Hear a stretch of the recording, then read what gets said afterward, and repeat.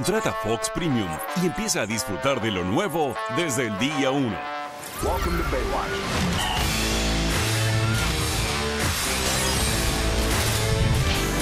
El 2018 que no deberías perderte. Fox Premium, Apple TV. Contrátalo ahora. Este 2018 con Megacable seguro te diviertes. Con la promoción 13x12 paga un año por adelantado de todos tus servicios y recibe el doble de velocidad de internet sin pagar más. Fox más Premium durante todo el año con los mejores canales sin cortes comerciales y un mes extra de servicio sin costo. Además, aseguras tu tarifa durante todo el año. Así, tu diversión está cubierta. Visítanos hoy mismo o llámanos y aprovecha la promoción 13x12 de Megacable. The Handmaid's Tale es la mejor serie del 2018. Y no está en Netflix, ni en Claro, ni en Blim. Está en Xview de Megacable. Un futuro escalofriante y la búsqueda de la libertad. Conoce esta impactante historia que podrás disfrutar en su primera temporada completa como, cuando y donde quieras. Si ya tienes Xview, comienza a verla. Si no, contrata hoy mismo televisión interactiva desde 50 pesos más al mes. Con Xview, ya nada es igual.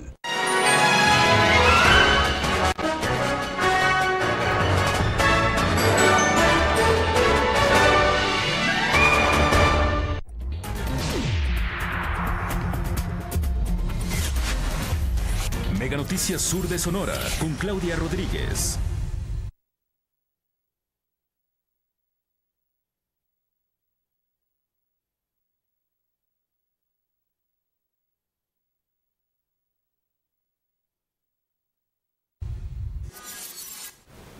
¿Qué tal amigos? ¿Cómo están? Muy buenas noches, bienvenidos. Qué bueno que nos acompañan, que están con nosotros. Iniciamos a partir de estos momentos 45 minutos de la mejor información, como siempre, dándole a conocer las posibilidades que tenemos para mantenernos en comunicación y en contacto. Agradeciendo como siempre a quien desde muy temprano se está reportando con nosotros y aproveche el 169-2108. Usted ya sabe, directamente aquí a las instalaciones de Megacanal. También tenemos nuestra nueva línea de WhatsApp. Gracias por esto. Aquí ya tenemos algunos comentarios y denuncias. Muchas gracias por la confianza. Le recuerdo nuestra página web, meganos.mx, con la información más importante que existe en el país. De manera constante se renueva la página a partir de los 30 megacanales que existen para brindarle la información más oportuna a nivel nacional e internacional y obviamente a través de los canales regionales. Recordarle, como siempre, nuestra página de Facebook se llama Mega Canal Obregón y ahí transmitimos completamente en vivo este noticiero, hacemos enlaces en vivo de la información más importante, lo que está ocurriendo, las notas completas para su análisis, para que usted las comparta. Ahí usted las puede observar. Los avisos por parte del organismo operador también los tiene ahí. Así que con esto y más, damos. Hoy en Mega Noticias. Fuerzas policíacas se enfrentan a asaltantes, hay varios detenidos y un lesionado. Ocurrió en la comisaría de Esperanza. Concesionarios del transporte urbano regresarán unidades ante la falta de ingreso. Insisten en no encender los aires acondicionados durante el verano. Reanudan trabajos de rehabilitación después de cuatro meses en la calle Meridiano. Ahora los menores utilizan tinta de los bolígrafos y el veneno para ratas como droga. Entramos de lleno con la información y empezamos con el asunto de la policíaca, esto que ocurrió hoy al mediodía por rumbos de la comunidad de Esperanza, en la comisaría de Esperanza, todo un evento policíaco por desgracia, en donde salieron a relucir las balas y también la persecución policíaca. Aquí todos los detalles de la información.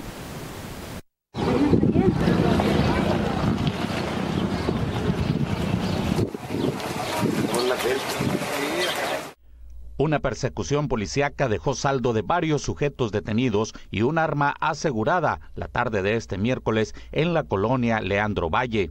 Al mediodía llegó el reporte de un asalto a trabajadores de un carro repartidor de cerveza en un expendio ubicado por las calles Fausto Topete y Francisco Villa. De ahí se inició la persecución ya que uno de los presuntos asaltantes había accionado un arma de fuego en contra de los agentes. Al repeler la agresión, se logró herir a uno de los sujetos, el cual fue trasladado a un hospital. Eso originó una intensa movilización policiaca por parte de los tres órdenes de gobierno. En la persecución se reveló que los presuntos llegaron a un taller donde amagaron a uno de los trabajadores despojándolo de una pick-up. El auto fue abandonado en las inmediaciones del cuartel militar intentando huir a pie hacia la colonia Nueva Esperanza. En ese lugar fueron detenidos por el operativo en conjunto. Los uniformados continuaron la búsqueda de otra persona que había conseguido huir. Ahí ubicaron una casa que al parecer era un picadero donde se detuvo a otras personas y aseguraron el arma de fuego. Luis Enrique Valenzuela, Mega Noticias.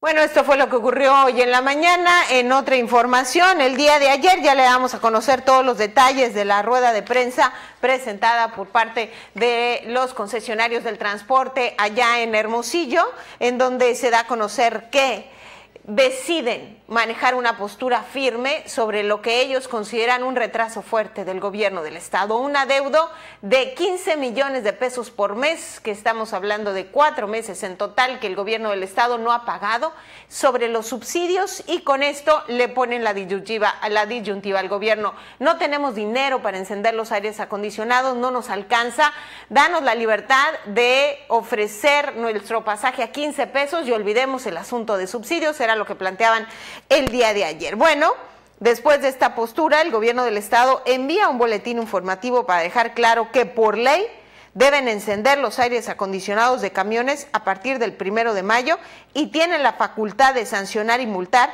a quien no cumpla con lo estipulado en la ley. Dicho apartado obliga que las unidades circulen con el aire acondicionado encendido y en correcto funcionamiento durante el periodo del 1 de mayo al 30 de septiembre. Las infracciones aplica, según el procedimiento, en una amonestación y en caso de reincidir se aplica una multa que va desde los 80 hasta los 8 mil pesos. Es la información que se da por parte de las autoridades. Esto ya le digo es el boletín oficial. Ahora le presentamos la postura de la gente aquí, de los concesionarios del transporte aquí en Ciudad Obregón sobre este asunto. Nos dan a conocer la numeralia y la situación que están viviendo.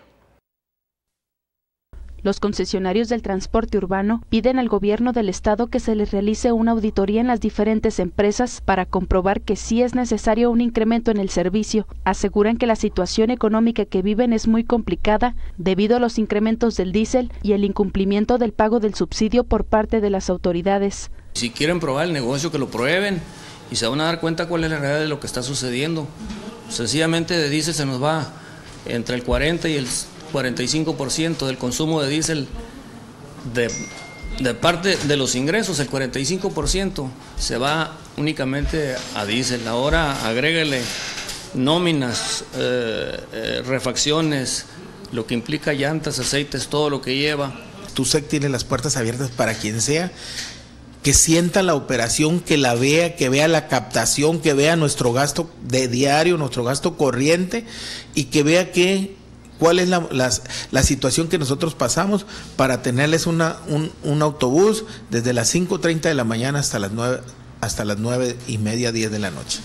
Esta situación ocasiona que algunas empresas se vean obligadas a regresar las unidades que se compraron el año pasado. El día más o menos a mediados, a finales de este mes, las unidades nuevas se vayan porque no hay con qué amortizarlas. Y hay que ser francos, hay que ser abiertos y hay que, y hay que decirle a la gente la situación. No, no tienes por qué estar escondiendo nada.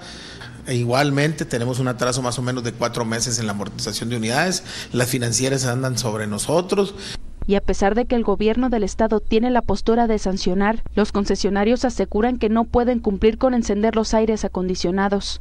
Nosotros estamos en los mejores términos, sabemos lo que puede pasar. La cuestión del aire acondicionado es por ley, este, pero igual, pues nosotros no podemos, no estamos, nadie está obligado, aunque sea por ley, a lo imposible, a lo que no se puede cumplir.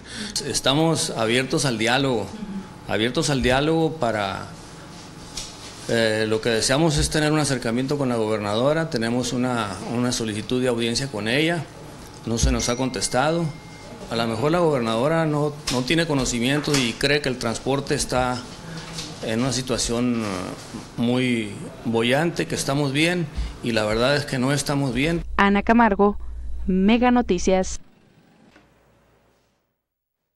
Pues la verdad es que no están bien los concesionarios del transporte urbano desde el primer momento en que no le dan un buen servicio a la ciudadanía. Recordar algunos números que se dan a conocer por parte de ellos localmente, el 50% de las unidades nada más enciende el aire acondicionado, el resto no, porque sencillamente no tiene, aun cuando la ley los obliga.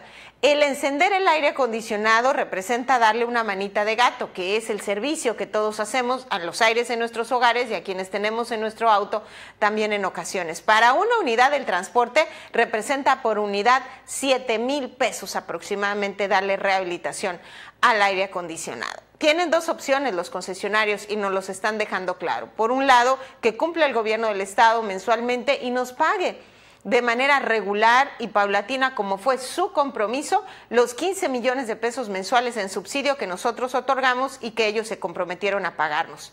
O que nos olvidemos del tema de los subsidios y que nos den la libertad de cobrar los 15 pesos de tarifa, que es lo que necesitamos. Después de esta rueda de prensa y esta información vertida en los medios de comunicación, hay reacciones por parte de la gobernadora. Sorprende la respuesta que da porque habla de chantajes. El gobierno del estado no cederá a chantajes o a medidas de presión por parte de concesionarios del transporte, por lo que tienen la obligación de cumplir a cabalidad con la prestación del servicio, así lo manifestó Claudia Pavlovich Arellano. La gobernadora de Sonora se refirió así a la amenaza de los empresarios del ramo de no iniciar con el encendido de aires acondicionados a partir de mayo, sin la autorización de un aumento a los 15 pesos en la tarifa que se aplica. Lo que les quiero decir es que no estamos dispuestos a, ceder a chantajes. El, transporte público se tiene que prestar, eh, los aires se tienen que prender por ley, señores, por ley, no por otra cosa. La mandataria estatal recordó a los transportistas que en su momento ya recibieron el beneficio de un ajuste a las tarifas en base a los estudios realizados por el Consejo Ciudadano del Transporte. Yo no soy quien decide la tarifa, pero por ningún motivo yo como ciudadana y gobernadora, eso lo decide el Consejo Ciudadano del Transporte, estaría de acuerdo en subir la tarifa. La, tarifa ya se subió, ya se aumentó y yo creo que ese no es ningún pretexto para el tema de los aires. Germán Contreras, Mega Noticias. Ahí está la postura del gobierno del estado y mientras tanto los concesionarios dicen estamos esperando una audiencia con la gobernadora para presentarle la numeralia y dejarle claro cuál es la situación que estamos viviendo en estos momentos. Recordar eh, que el año pasado estábamos discutiendo el asunto precisamente del incremento a la tarifa.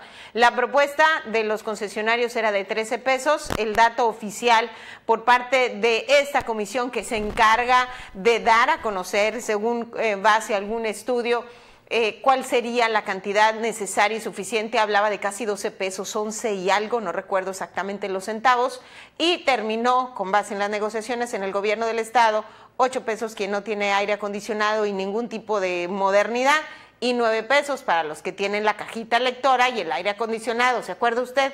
Ese fue el acuerdo final. Ahora salimos a las calles, como es nuestra responsabilidad, para preguntarle a los usuarios del transporte qué opinaban sobre todo esto que tienen los concesionarios y aquí va la respuesta. Es que la verdad se suben demasiadas personas al camión y con nueve pesos creo que les alcanza muy bien como para mantener bien el camión y para poder pagar, solver tanto los gastos del mismo. Subirlo un poco más ya sería excederse creo que no está para subirse. Creo que el precio que tenían de 7 pesos se me hacía bien y a veces todos los camiones ni prenden los aires, son incluso los nuevos, los camiones que están usando los, los aires. Entonces no creo que se me haga justo prender o subir la tarifa los, de los camiones. La tarifa no la deberían de subir porque muchos vienen desde muy lejos agarrando dos o tres camiones y no tienen, no están en condiciones de gastar tanto, tanto dinero para andar agarrando tres o cuatro camiones. Y pues los aires, hay muchos que viven, viven muy lejos y se vienen sufriendo calor desde lejos, como para que no prendan los aires. Bueno, así está la situación aquí en Cajeme. También acudimos a la calle le preguntamos a Yana Bojoa. Esta información se la presentaremos más adelante también, buscando la respuesta de los concesionarios y de los usuarios del transporte en porque habría que recordar que el acuerdo fue tomado Hermosillo, Guaymas, Ciudad Obregón y Navojoa, que son las cuatro entidades que tienen en estos momentos el sistema de modernización del transporte. Así que así de grave la problemática, ya escuchamos las declaraciones que le dieron a Ana Camargo señalando que muy posiblemente estarían ante la posibilidad de regresar las unidades nuevas porque sencillamente no tienen para pagar. Así que vamos a ver qué es lo que sucede. Ahora nos vamos a la sección de mensajes y esto gracias a Eleganjo. Ven y vive la experiencia de decorar tu casa con los mejores precios y excelente calidad en persianas enrolladas desde 395 pesos el metro de aluminio, madera, cher y PVC. Presenta. Nos llegan algunos reportes, muchísimas gracias por comunicarse con nosotros, son de la línea directa aquí al 169-2108, Gabriel González en Mirasierra. En el CONAFE desde hace cuatro horas está sonando la alarma. Ya vinieron los policías, pero el personal no llega para pagarles por la calle Bernal Díaz del Castillo, esquina con Monte Sinaí. Jesús Estrada, yo digo que si un negocio no es redituable, yo lo dejaría. Que los concesionarios dejen el negocio a alguien que sí lo pueda sostener. Se quejan mucho los transportistas. Arturo Rodríguez de la colonia, de la colonia Villa Aurora, el problema de los perros de la calle ya es grave en este lugar y es un problema de salud. Ya lo hemos reportado a Salud Municipal, pero no actúa. Es en la colonia Villa Aurora. A ver si Arturo nos puede mandar la dirección exacta para reenviársela a la Dirección de Salud Municipal a ver qué es lo que nos dice. Enrique Ruiz de la Miravalle cobran 250 pesos por echarle gas al transporte y 600 pesos por lavarlos. No es pretexto el dinero, nos dice Enrique Ruiz. Ahí están las reacciones de ustedes como usuarios en el tema del transporte urbano. ¿Qué es lo que va a pasar? Vamos a estar al pendiente. La gobernadora lo recibe, les va a regresar el dinero pendiente, los 15 millones de pesos mensuales que les debe. Ellos dicen que son entre 4 o 5 meses los pendientes. ¿Qué es lo que va a pasar? Van a operar las multas. El año pasado, recuerdo muy bien, quien era el delegado del transporte aquí en nuestra región, el licenciado Saúl Benítez, decía, si me pongo a multar a todos, y a sacarlos de circulación porque es lo que marca la ley, dejo sin camiones Ciudad Obregón. Entonces, ¿qué es lo que hago?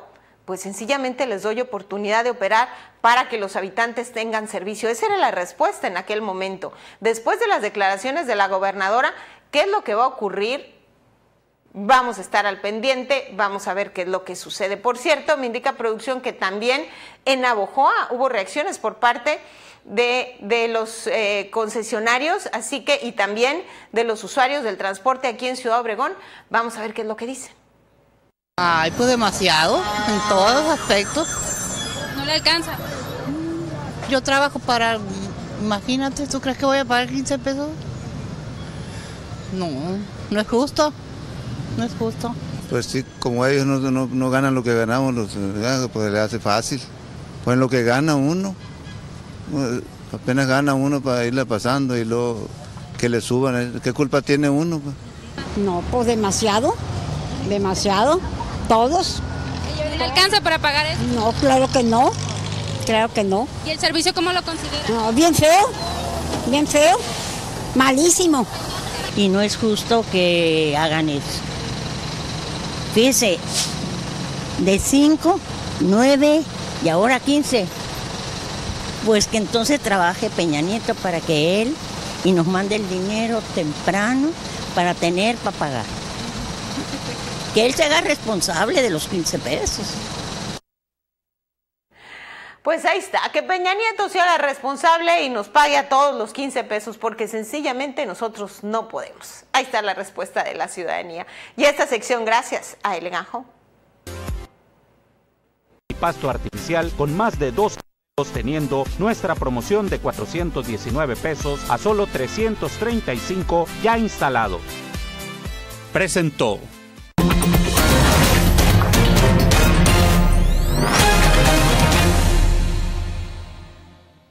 En este mes de abril, ven y vive la experiencia de decorar tu casa con los mejores precios y excelente calidad en persianas enrolladas desde 395 pesos el metro de aluminio, madera, cher y PVC, duelas de madera, laminadas y de PVC y papel tapiz. Contamos con muros verdes y pasto artificial con más de 12 modelos teniendo nuestra promoción de 419 pesos a solo 335 ya instalado. Elegant Home, calidad y confort al mejor precio.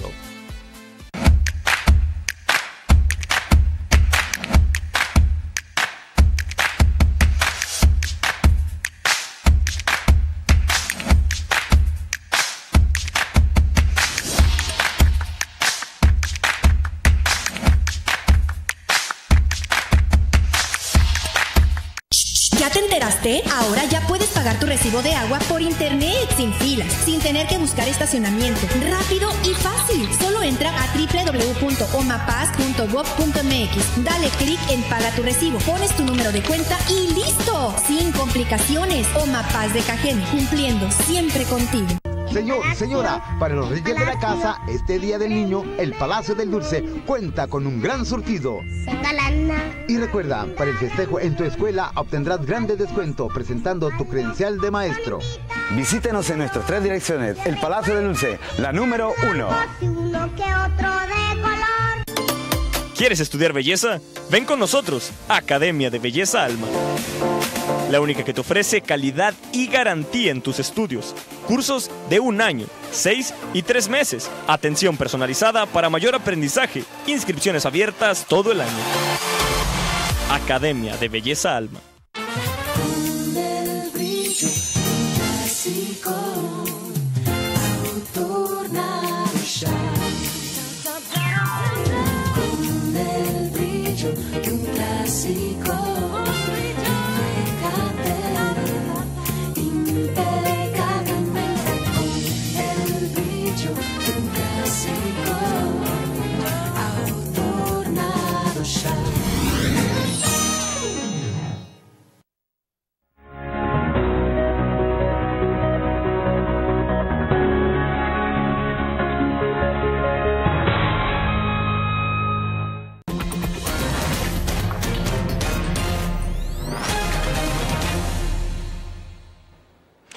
Continuar con más información. Nos vamos hasta Navojoa, hasta la región del Mayo. Hay una verdadera preocupación por el tema del consumo de las drogas y es que los niveles han llegado a tal que los jóvenes, sobre todo los adolescentes, están consumiendo de todo para poder drogarse. Estamos hablando desde bolígrafos o oler los bolígrafos hasta incluso veneno de ratas.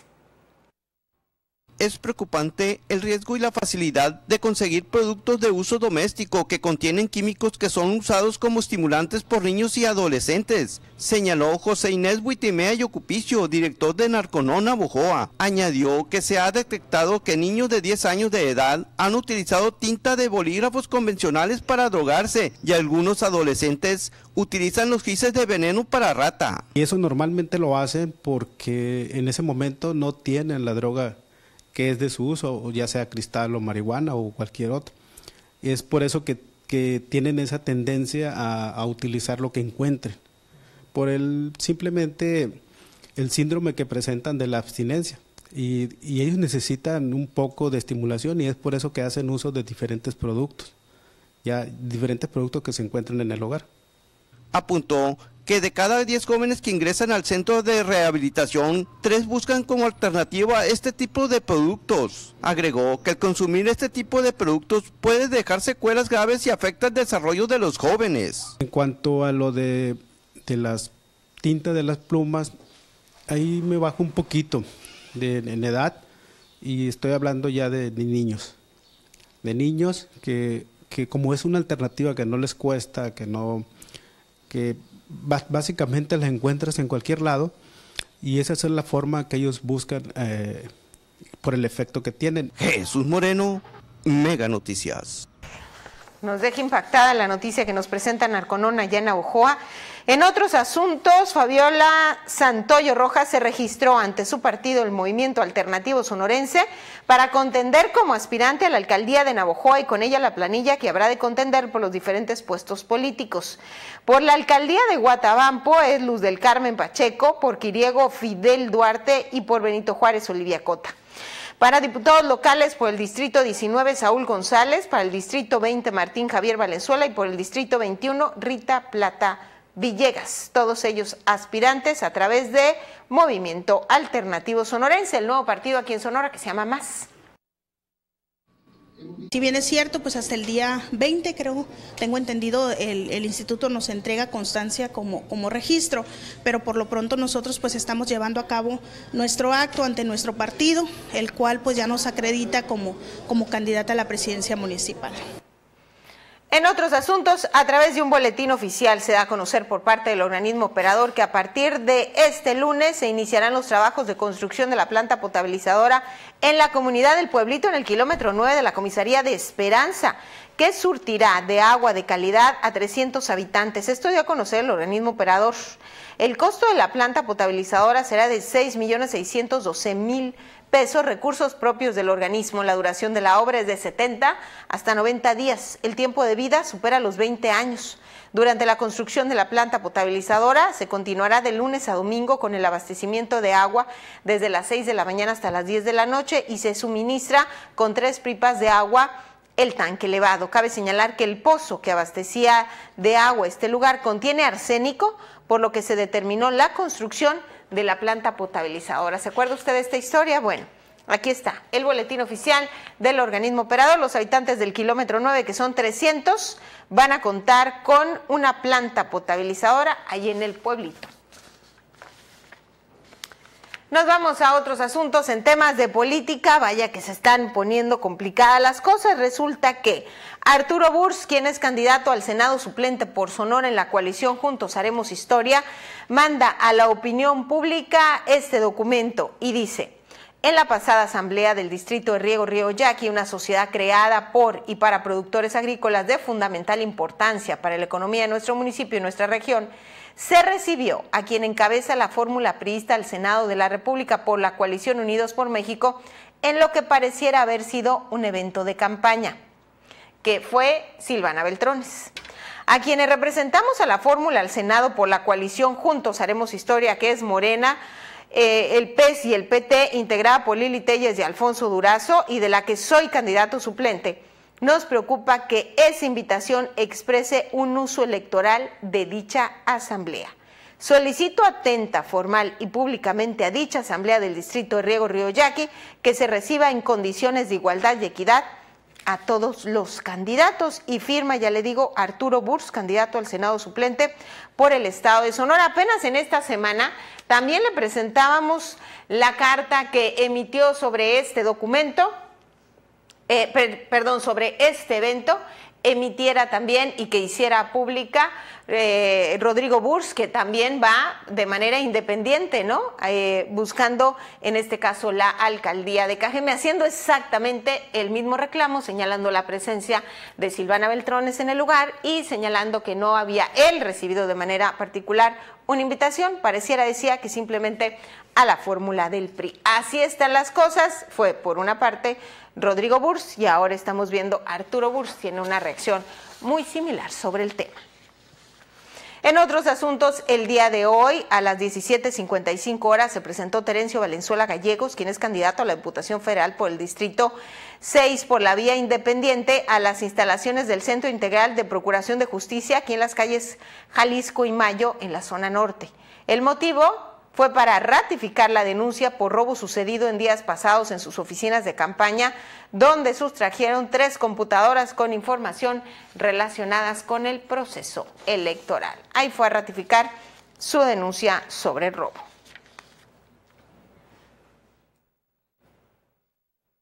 Ahora nos vamos a la sección de mensajes y esto gracias a Palacio del Dulce.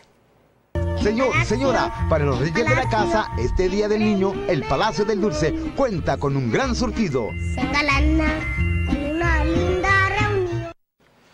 Ramón Núñez nos llama por teléfono hablando del servicio público. La mayoría de los camiones no tienen aire y no quieren arreglarlos. Es un abuso lo que hacen con nosotros, los usuarios, y se necesita que volteen los vidrios para que entre el aire porque los tienen arriba. Tanto dinero que les han dado y no los arreglan. Juan Encinas, en la calle Tancagua no tienen alumbrado de la Guerrero hasta la Allende y también hay una lámpara fundida, nos hace aquí por segundo día consecutivo el reporte. Alejandro Verdugo de la Colonia Centro dice, pueden investigar qué se hace con todo el dinero que entra a la central de autobuses que es del municipio porque todos los días entran de 400 a 500 autobuses, cada uno paga 95 pesos, entonces esa central tiene un ingreso como de 3 millones y tiene 50 empleados nada más. ¿Y el servicio dónde queda? Nos explica, nos cuestiona con todo gusto le investigaremos hacia dónde va el recurso que se obtiene de la central camionera, ya le tendremos una respuesta. Lolita Vázquez, el problema se genera porque el concesionario no ha recibido el pago del subsidio del gobierno, pero ¿por qué el Estado no le paga? Y la gobernadora no dijo nada de esto, que les adeuda. Si la gobernadora les paga, se soluciona el problema y todos contentos, dice Lolita Vázquez. Es parte de la situación y también nos... eh, Impresiona de manera particular la respuesta de la gobernadora porque no hace exactamente, Lolita, ninguna aclaración. Si es cierto, les debemos tanto, vamos a ver cómo les pagamos. No habla absolutamente de nada. Ella maneja simplemente el tema de un chantaje y no asume la responsabilidad que le toca por el adeudo de cuatro o cinco meses en el pago de los subsidios. Buenas noches, Claudia. Los concesionarios dicen que no encenderán los aires, pero se enojan porque usamos los Uber. Y cómo no, si en ellos nos transportamos muy a gusto y sobre todo hasta tu casa. Entonces, que se dejen de cosas y que nos den un buen servicio. Aquí el único perjudicado es el usuario. Y comentarios como estos tengo muchísimos en la línea de WhatsApp. Tenemos reporte también de lámparas fundidas en la Esperanza Tiznado. Una fuga de agua limpia ya está derramándose por toda la calle en la Ponciano Arriaga 337. Esperamos que vengan pronto. En este momento lo enviamos también al organismo operador. Buenas noches. El aumento lo tuvieron en el 2017 a 9 con aire. Lo prendieron muy poco y siguieron cobrando 9. Que los regresen aquí a los 8. La mayoría son chatarra. Bueno, opiniones de todo tipo. Claudia nos dice, al fin arreglaron la lámpara que reporté muchas veces. Gracias a todos por arreglarla y a ti, Claudia, a tu programa. Gracias, soy Arturo Castro. Gracias a el Ayuntamiento de Cajeme por su respuesta. Claudia, buenas noches. El servicio es igual que el de una casa. El servicio no... em, bueno, no alcanzo a leer, Ernesto Campos, no alcanzo a leer muy bien lo que nos dicen. Con respecto al transporte, ojalá venga otra competencia y les quiten las concesiones y luego se quejan de por qué proliferan los ruleteros.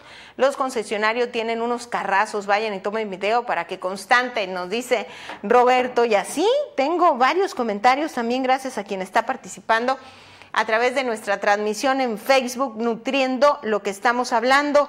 Por ejemplo, Lupando M. López en la línea 2 no están dando pasaje gratis y quieren que por sus tantas eh, paguemos los cinco. Eso me pasó ayer a las 10 de la mañana cuando me fui de Litson Centro al Nainari y quería que a fuerza le pagara la tarifa de estudiante y me bajé en el seguro. Al bajarme me exigían lo mismo, pero no les hice caso. O sea, el pasaje gratuito no se lo estaban recibiendo.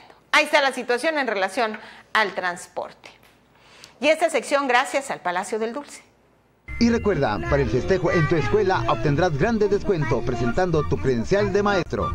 Visítenos en nuestras tres direcciones. El Palacio del Dulce, la número uno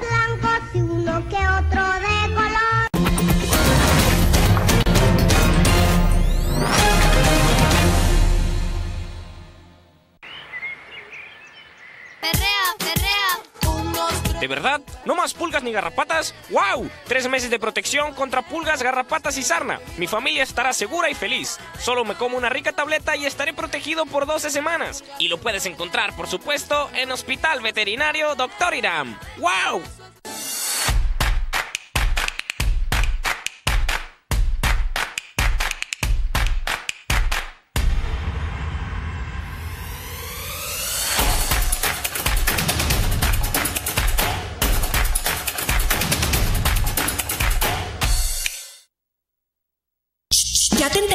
Ahora ya puedes pagar tu recibo de agua por internet, sin filas, sin tener que buscar estacionamiento. Rápido y fácil. Solo entra a www.omapaz.gov.mx. Dale clic en Paga tu recibo, pones tu número de cuenta y listo. Sin complicaciones. Omapaz de Cajeme, cumpliendo siempre contigo. El verano 2018 está muy caluroso. Aparta ya tu mini Mirage con solo 500 pesos y el resto a 6 meses en Air Depot Mirage. Visítanos en Jesús García 2209, local 5, teléfono 120-7336. Aparta tu mini ya. Búscanos en Facebook como Mini Split Sonora.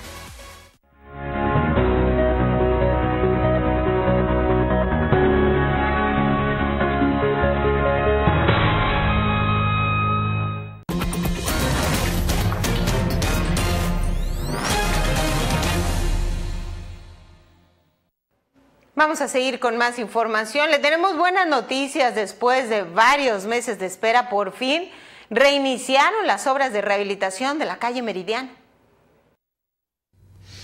Tal como lo había anunciado la Junta de Caminos eh, Vecinales aquí en el eh, Valle del Yaqui, la calle Meridiano, iniciaron los trabajos ya para pavimentar eh, lo que es la carretera este, el, tramo de la calle 200 a la 300. Iniciaron esta misma semana el compactamiento de la tierra.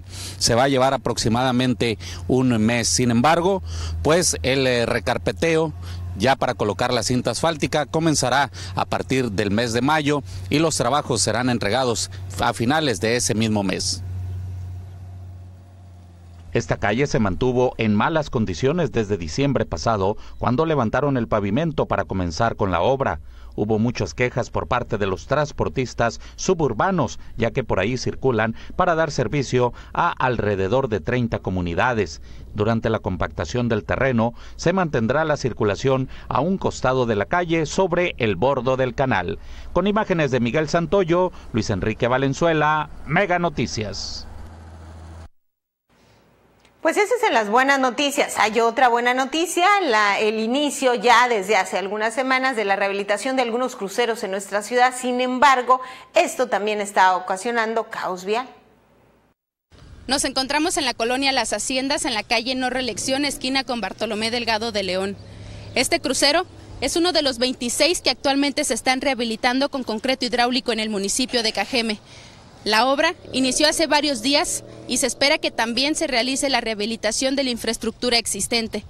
Sin embargo, algunos conductores que habitan en esta colonia, en Campanario y Los Monjes, están denunciando que en horas pico se genera mayor tráfico vehicular en la calle No Reelección debido a que el tráfico está para ambos sentidos.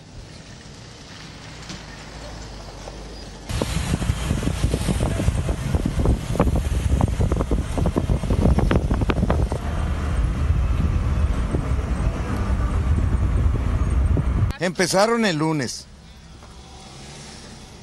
Y ahí dejaron todo escarbado nada más. No hay máquinas trabajando ahorita. Ve nada más cómo está. ¿Y el tráfico cómo está, señor? Pues imagínate. Los señalamientos para la fregada. La gente tiene que, darle vuelta a las cosas. Y no veo a nadie trabajando. Hay una empresa muy grande aquí, pues. Entonces, sí es importante, pues, darle agilidad a esto. Y luego aquí el tráfico es muy pesado. Es una calle principal y más que nada, este, los carros van a muy alta velocidad. Ha habido muchos accidentes. El gobierno del estado invirtió una cantidad de 40 millones de pesos para la rehabilitación de los 26 cruceros. Según lo que han informado las autoridades municipales, la obra de cada crucero tiene una duración de 30 días. Con imágenes de Óscar Alanís, Ana Camargo, Mega Noticias.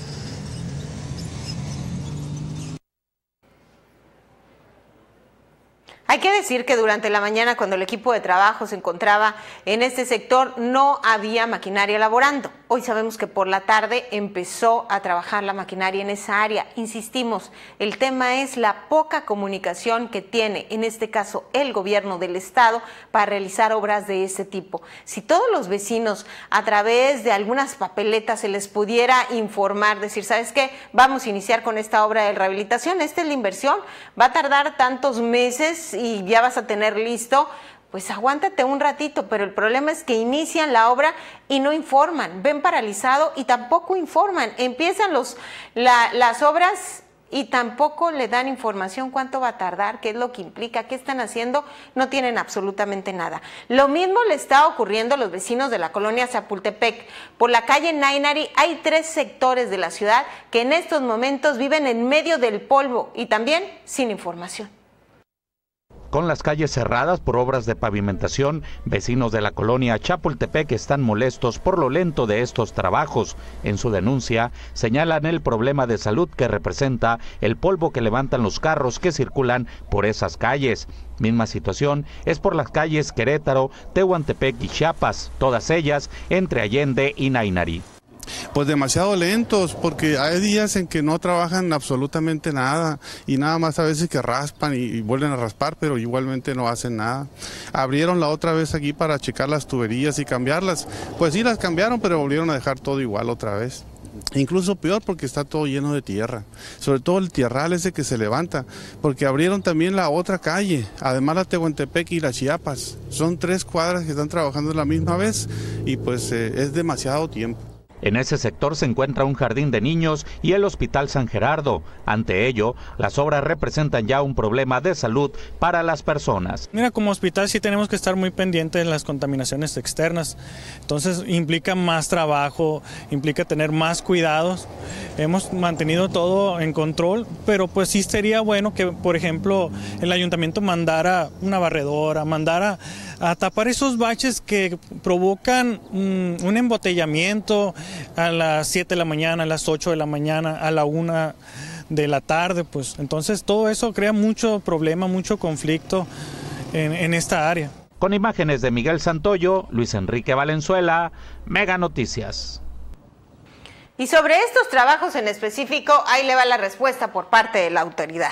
Los trabajos en las calles es obra del Ayuntamiento de Cajeme y se están realizando con recursos propios. Se cambiaron tuberías de agua, drenaje y toda la infraestructura. En estos días se está compactando con terracería en las tres calles y en 10 días más se tirará la carpeta asfáltica. Autoridades municipales aseguran que no han dejado de trabajar y que continúan en base al tiempo programado. Insisto en este tema. Son maravillosas las obras de rehabilitación, claro que las necesitamos para tener una buena infraestructura, de eso pedimos la limosna, yo creo que todos los habitantes que no se dejen caer, eh, que no se deje caer la ciudad. Pero lo que necesitamos es información.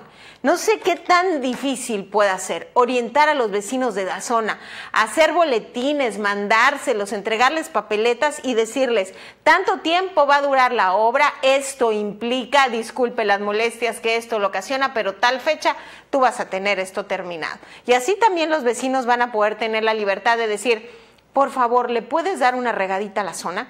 De veras, paso seguido por ese sector y es increíble. Me toca el amanecer en ese sector todas las mañanas.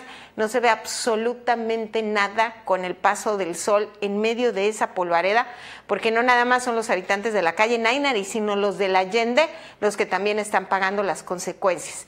Hemos tenido reportes de vecinos y por eso acudimos al lugar gracias a ellos por la confianza, por cierto, en donde hablan ya de enfermedades respiratorias, vecinos del sector que tienen asma y que se han complicado a tal grado que han tenido que ir al hospital.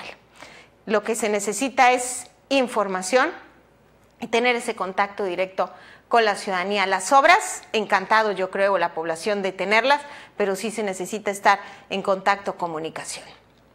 Nos vamos a hacer una pausa, regresamos, hay más.